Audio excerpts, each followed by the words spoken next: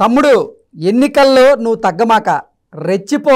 ఏదైనా సరే మనం చూసుకుందాం అంటూ చిరంజీవి గారు జనసేనాని పవన్ కళ్యాణ్కి హామీ ఇచ్చారు అంటూ ఒక వార్త ఇప్పుడు సోషల్ మీడియా వేదికగా చక్కర్లు కొడుతున్నటువంటి నేపథ్యంలో ఈ అంశానికి సంబంధించి మనతో మాట్లాడేందుకు ప్రముఖ సీనియర్ జర్నలిస్ట్ దుర్గా కుమార్ గారు మనతో ఉన్నారు. సార్తో మాట్లాడదాం. దుర్గాకుమార్ గారు నమస్తే అండి. నమస్కారం. కృష్ణ గారు మన వీక్షకులకు కూడా నమస్కారం. Blood is thicker than water అని ఎప్పుడైనా రక్త సంబంధం రక్త సంబంధమేనండి. ఇప్పుడు మధ్య వీళ్ళు ఎప్పుడు కూడా చిరంజీవి గారి సోదరుల మధ్యలో పెద్ద అంటే విభేదాలు వచ్చిన సందర్భం ఎప్పుడు లేదు. ఎందుకంటే వాళ్ళు వచ్చింది ఒక మధ్యతరగతి కుటుంబం నుంచి వచ్చారు. ఇప్పటికీ వాళ్ళకి ఆ రూట్స్ తెలుసు. మనం ఏ ఏ స్థాయి నుంచి వచ్చాము అని. కాబట్టి ఇంత ఆశ సంపాదించిన ఆ ప్రేమలో చిన్నప్పుడు వాళ్ళ తల్లి దగ్గర పెరిగిన కష్ట నష్టాలు అవన్నీ కూడా వాళ్ళకి గుర్తుంటాయి. ఇంకా వాళ్ళలో ఇంకా కొంచెం ఏజ్ ఫ్యాక్ట్ వేరియేషన్ ఉన్నది పవన్ కళ్యాణ్ గారికి. పవన్ కళ్యాణ్ గారిని ఇంకా సహజంగా ముద్దుగా పెంచుంటారు. వీళ్ళిద్దరు ఇంచుమించు ఒకే ఏజే చిరంజీవి గారును నాగబాబు గారు. కాబట్టి వాళ్ళ మధ్యలో ఎప్పుడు కూడా పెద్దగా స్పర్ధలు ఉండి లేదు. ప్రజారాజ్యం పెట్టినప్పుడు నాగబాబు గారు అండ్ పవన్ కళ్యాణ్ కూడా చాలా బాగా కృషి చేశారు. అయితే ఏంటంటే ఇప్పుడు అక్కడ చిన్న విషయం పవన్ కళ్యాణ్ గారు పార్టీని కొనసాగించాలనేది ఆయన ఉద్దేశం. ఆ పార్టీలో పెద్దగా మనం అనుకున్నంత సాధించలేకపోయాము. పార్టీని మెయింటైన్ చేయటం కష్టం. దీనికన్నా జాతీయ పార్టీ కాంగ్రెస్లో చేరిపోతే బెటర్ అనేది అక్కడ చిన్న విభేదం వచ్చింది వీళ్ళిద్దరి మధ్యలో. ఈయన ఏంటంటే కష్టమో నష్టమో మనం పార్టీ పెట్టాం కాబట్టి మనమే కాపాడుకుని కష్టంలో కూడా తట్టుకుని నిలబడితే మళ్ళీ ప పదవిలోకి వస్తామని. కానీ కెప్టెన్గా ఉన్నది చిరంజీవి గారు. నిర్ణయం తీసుకోవాల్సింది ఖర్చులు భరించాల్సింది కష్ట నష్టాలన్నీ ఆయనది. ఇక ఆయన అందులోనూ ఇక ఇక్కడ ఫుల్ సక్సెస్ రాలేదు కాబట్టి సినిమాల్లో అన్న ఈ టైంని స్పెండ్ చేసుకుంది బెటర్ తప్ప ఎప్పుడైనా అధికారంలో లేనప్పుడు పార్టీని మెయింటైన్ చేయడం చాలా కష్టం కృష్ణ గారు. అది అన్ని పార్టీలకి అందరి వ్యక్తులకి సాధ్యం కాదు. చాలా వేధిస్తారు. అంటే డబ్బు కోసం డబ్బు అనేది లేకుండా ఎవరు కూడా మన చుట్టూ తిరగరు. డబ్బు అనేది ప్రధానం. ఆఫీసులు మెయింటైన్ చేయాలన్నా కార్యకర్తలు మెయింటైన్ చేయాలన్నా సభలో సమావేశాలు నిర్వహించాలన్నా ఎక్కడికక్కడ డబ్బు లూబ్రికేషన్ అనేది జరగాలి. అది చిరంజీవి గారు ఏమనుకున్నాడంటే ఆయనకున్న అనుభవాన్ని బట్టి ఇక ఎందుకు మనం అన్న- అనుకున్నది అయితే రాలేదు కదా అని మన విషయంలో కొంచెం ఆయన వెనక్కి తగ్గాడు. ఈయనేమో కొంచెం యంగ్స్టర్ కదా. సరే అది తర్వాత సర్దుకుంది అది పెద్ద విషయం కాదు. ఈయన పార్టీ మాత్రం కంటిన్యూగా ఉంటానుండాడు ఎండినా తడిసినా కూడా. మధ్య మధ్యలో సినిమా షూటింగ్లకి ఈయన్ని కూడా అంటున్నారు. ఈయన సీజన్లలో పర్సన్ అనో ఏదో చెప్తా ఉంటారు కదా ఈయన గురించి. Part time part time. Politician అంటారు పార్ట్ టైం పొలిటీషియన్ అంటున్నారు. కొంతమంది టెంట్ హౌస్ పార్టీ అన్నారు. అట్లా. ఏదన్నా ఫంక్షన్ ఉంటే. వచ్చి టెంట్ హౌస్ వేసుకుంటారు పీకేసి వెళ్ళిపోతారంటూ కూడా కొంతమంది ప్యాకేజింగ్ స్టార్ అంటారు. అంటే ఇతర పార్టీలు ఇచ్చే ప్యాకేజీలను బట్టి వాళ్ళకి వీళ్ళకి ముఖ్యంగా పేరు నాని గారు. అంటారు అంటారు. సరే అవన్నీ కూడా ఈయన భరించుకుని తట్టుకున్నాడు. మరి ఏ పదవి లేకుండా మరి మోడీ దగ్గర ఒక ప్రధానమంత్రి దగ్గర జాతీయ స్థాయిలో అధికారంలో ఉన్న పార్టీ దగ్గర అంత ప్రాపకం ఆయన పొందగలిగాడంటే గుర్తింపు. మరి ఆయన ఎప్పుడు కూడా కార్పొరేటర్గా కానీ కౌన్సిలర్గా కూడా గెలవలేదు కదా.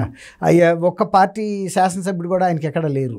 కానీ వ్యక్తిగతంగా ఆయనకున్న గ్లామర్నే పరిగణలోకి తీసుకుని మోడీ గారు ఆ ప్రాధాన్యత ఇచ్చాడు.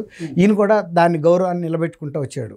ఇప్పుడు ఇవాళకి వచ్చేటప్పటికి చిరంజీవి గారు మరి ఇప్పుడు ఎన్నికలు దగ్గరికి వస్తున్నాయి కాబట్టి పాత గుర్తులన్నీ వస్తాయి కదండి. ఇప్పుడు వాళ్ళ ఇంట్లో పెరిగిన పిల్లాడు. పవన్ కళ్యాణ్. వాళ్ళ వదిన చేతుల మీదుగా పెరిగాడు. కాబట్టి అన్నయ్య దగ్గరికి వెళ్ళి వాళ్ళ ఆశీర్వాదం తీసుకున్నాడని నేను కూడా సోషల్ మీడియాలో చూశాను. చూసినప్పుడు ఆయన మరి చిన్న అందరికన్నా ముద్దు పవనే కదా. మరి ఆల్ ద సక్సెస్ చెప్పాడు. ఒక ఐదు అంటే ఆయన ఇచ్చిన విరాళం ఇది ఆరంభం మాత్రమే అంతం కాదన్నట్టు ఆయన ఇవ్వదలుచుకుంటే ఇంకా చాలామందికి పెద్ద పెద్ద ఇచ్చిన సందర్భాలు ఉంటాయి కాబట్టి ఈ ఐదు సీడ్ క్యాపిటల్ లాగా వాడుకోమంటమే. నిజానికి ఐదు కోట్లు జనసేన పార్టీ ఇప్పుడు నిర్వహణకి ఈ స్పీడ్కి ఈ ఎన్నికలను ఎదుర్కోవటానికి వాడకుండా ఒక ట్వంటీ సీట్స్ ఎంతో తీసుకున్నారు కదండి వాళ్ళు. ట్వంటీ సీట్స్లో మరి డిస్ట్రిబ్యూట్ చేయాలి కదా ఎంతో కొంత అభ్యర్థులకి. తర్వాత మరి మ్, కూటమిలో భాగస్వాములు వీళ్ళ షేర్ కూడా మరి ప్రజెంట్ చూపించాలి కదా జనసేన కూడా నిలబడింది అని. కాబట్టి ఆయన ఒక ఆశీర్వాదంతో పాటు ఇచ్చిన అమౌంటే కానీ ఆ తర్వాత అయినా ఏదన్నా సర్దుబాటు చేయగలిగిన శక్తి తర్వాత ఇది చేయాలనే సంకల్పం చిరంజీవి గారికి డెఫినెట్గా ఉంటుంది. అట్లాగే నాగబాబు గారు కూడా తనకున్నంతలో అవసరమైతే తన ప్రచారంలోనూ పాల్గొంటాడు. మళ్ళీ డబ్బుగా చూస్తాడు. కాకపోతే నాగబాబు గారి ప్రచారంలో పెద్ద ఫలితం ఉంటుందని నేను అనుకోను. ఎందుకంటే చిరంజీవి గారికి ఉన్న గ్లామర్ పవన్ కళ్యాణ్కి ఉన్న గ్లామర్ నాగబాబు గారు ఓన్లీ అది జబర్దస్తే కదండి ఎక్కువ ఆయన చేసేది. కాబట్టే ఒక పెద్దాడిగా కొన్ని సార్లు ఏమైనా నియోజకవర్గాల్లోకి వెళ్ళినప్పుడు ఆ అభ్యర్థులకి గైడెన్స్ ఇవ్వటం కార్యకర్తలకి గైడెన్స్ ఇవ్వటం ఇలాంటివి చేయగలడు. గతంలో ప్రజా పార్టీ తరపున కూడా ప్రజారాజ్యంలో చేసి ఉన్నాడు కాబట్టి ఈ నిర్వహణకు సంబంధించిన కొన్ని మెలకువలు ఆయనకు కూడా తెలుసు. ఆ మేరకి పవన్ కళ్యాణ్ గారికి ఉపయోగపడగలుగుతాడు ఒక అన్నగా అని నేను అనుకుంటున్నా. ఓకే సార్ తమ్ముడి తమ్ముడికైతే చిరంజీవి గారు ఆశీర్వాదాలు అందజేశారు. అలాగే పార్టీకి కూడా భారీగా విరాళం ఇచ్చినటువంటి నేపథ్యంలో అంటే అసలు చిరంజీవి గారు జగన్మోహన్ రెడ్డి గారికి ఊహించినటువంటి ఒక భారీ జలక్కిచ్చారు అంటూ కూడా ఇప్పుడు సోషల్ మీడియా వేదికగా ఒక చర్చ అయితే నడుస్తూ ఉంది. చిరంజీవి గారేంటి? జగన్మోహన్ రెడ్డి గారికి ఊహించని జలక్ ఇవ్వడం ఏంటి? అంటే ఏం చెప్తారు? అంటే ఒకటి మన కృష్ణ గారు కొంచెం సోషల్ మీడియా సర్కిల్స్లో ఏంటంటే జ- చిరంజీవి గారిని దగ్గరికి తీసి కౌంటర్గా పవన్ కళ్యాణ్కి చేయాలనేది వైఎస్ఆర్సీపీ ఒక వ్యూహం ఉందనేది తెలుస్తుంది. అంటే ఈయన్ని కౌంటర్గా తీసుకురావటం వలన ఇక ఎప్పుడైతే చిరంజీవి గారు ఇటు వచ్చారో జనసేనకు చెక్కపడిపోతుందని. ఆ సామాజిక వర్గం ఓట్లు ఈయన తీసుకొచ్చేస్తాడని. కానీ చిరంజీవి గారు పవన్ కళ్యాణ్ యువతలు ఇంకో పార్టీ పెట్టుకుని ఉన్న టైంలో వైఎస్ఆర్సీపీ వైపు కనుక వెళ్తే ముద్రగడ పద్మనాభం గారు చేసిన జ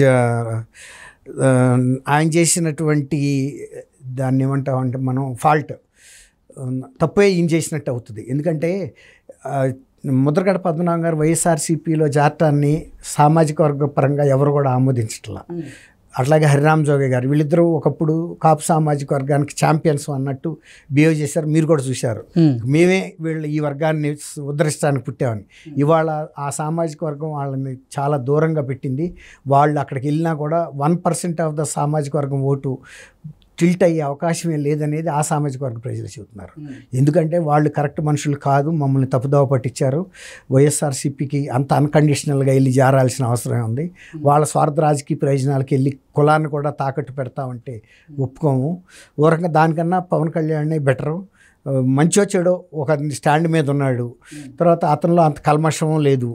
మరి ఈయన ముద్రగడ పద్మనాభం గారు ఒకప్పుడు ఇంత రాజకీయ ఉద్దండుగా ఉండి ఇవాళ వెళ్ళిపోయి ఆయన దగ్గర రెక్కల కింద దూరిపోయాడు. ఆయన ఏమి సామాజిక వర్గానికి ఏ హెల్ప్ చేయనని కూడా చెబుతానే ఉన్నాడు. జరగలేదు కూడాను. ఏదన్నా జరిగిందంటే తెలుగుదేశం టైంలోనే మంచి మంచి క్యాబినెట్ బెర్తలు దొరికినాయి. నిమ్మల రాజప్ప గారికి హోమ్ మినిస్టర్ ఇవ్వటం కానీ ఆ హరిరామ్ జోగయ్య గారు కూడా తెలుగుదేశంలో హోమ్ మినిస్టర్గా చేశాడు. ఆ సోషల్ స్టేటస్ మళ్ళీ ఏ ప్రభుత్వంలోనూ మాకు అంతగా దొరకలేదనేది ఇవాళ సామాజిక వర్గంలో పెద్దలు కానీ చిన్నలు కానీ రివ్యూ చేసుకుని ఇదే బెటర్ అనే దీనికి వచ్చేసారండి. కాబట్టి చిరంజీవి గారు అయితే వెళ్ళి వైఎస్ఆర్సీపీలో చేరి రాజ్యసభ మెంబర్ తీసుకుంటాడంటే నేను వ్యక్తిగతంగా అయితే అనుకోవటం లేదు. ఓకే.